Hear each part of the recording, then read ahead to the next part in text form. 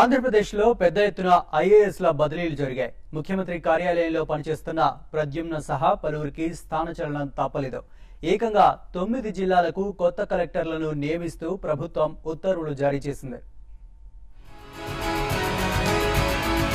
Election team రూపకల్పనలో చంద్రబాబు తలమునకలయ్యారు. ఇప్పటికే మంత్రివర్గంలో మార్పులు చేర్పులు చేసిన ఆయన ఇప్పుడు అధికార యంత్రాంగంపై దృష్టి పెట్టారు. అందులో భాగంగానే ఐఏఎస్ల బదిలీలు. జిల్లాలకు కొత్త కలెక్టర్ల విషయానికి వస్తే చిత్తూరు జిల్లాకు ప్రద్యుమ్నను నియమించారు. ఇప్పటి వరకు ఈయన సీఎం కార్యాలయంలో జాయింట్ సెక్రటరీగా పనిచేస్తున్నారు.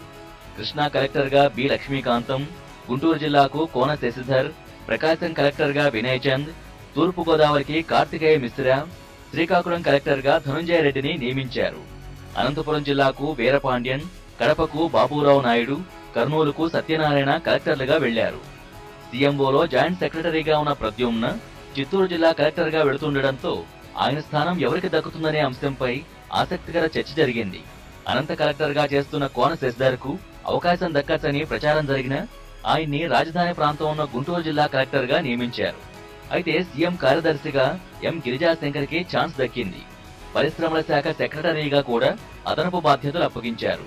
ఇక కృష్ణా జిల్లా నుంచి బదిలీ అయిన ఏ బాబుని లోకేష్ దగ్గరున్న ఐటీ శాఖ కార్యదర్శిగా తీసుకుంటారని సమాచారం.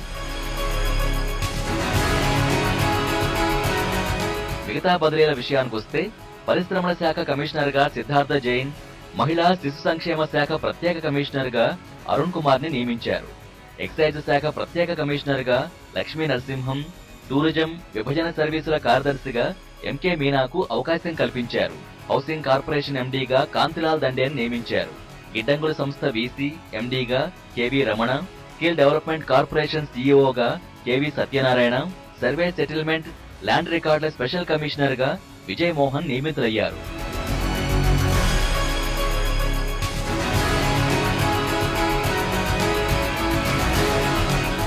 మరో నలభై మందిని బదిలీ చేయవచ్చని ప్రచారం. జాయింట్ కలెక్టర్లు సెక్రటరీ ముఖ్య కార్యదర్శులకు స్థానచలనం తప్పేలా లేదు. ఒకటి రెండు రోజుల్లోనే ఆ ఉత్తర్వులు వెలువడనున్నాయి. మరోవైపు కీలకమైన టీటీడీ ఈవో పదవికి రేసులో అనిల్ సింఘాల్ జేఎస్వి ప్రసాద్ పేర్లు వినిపిస్తున్నాయి.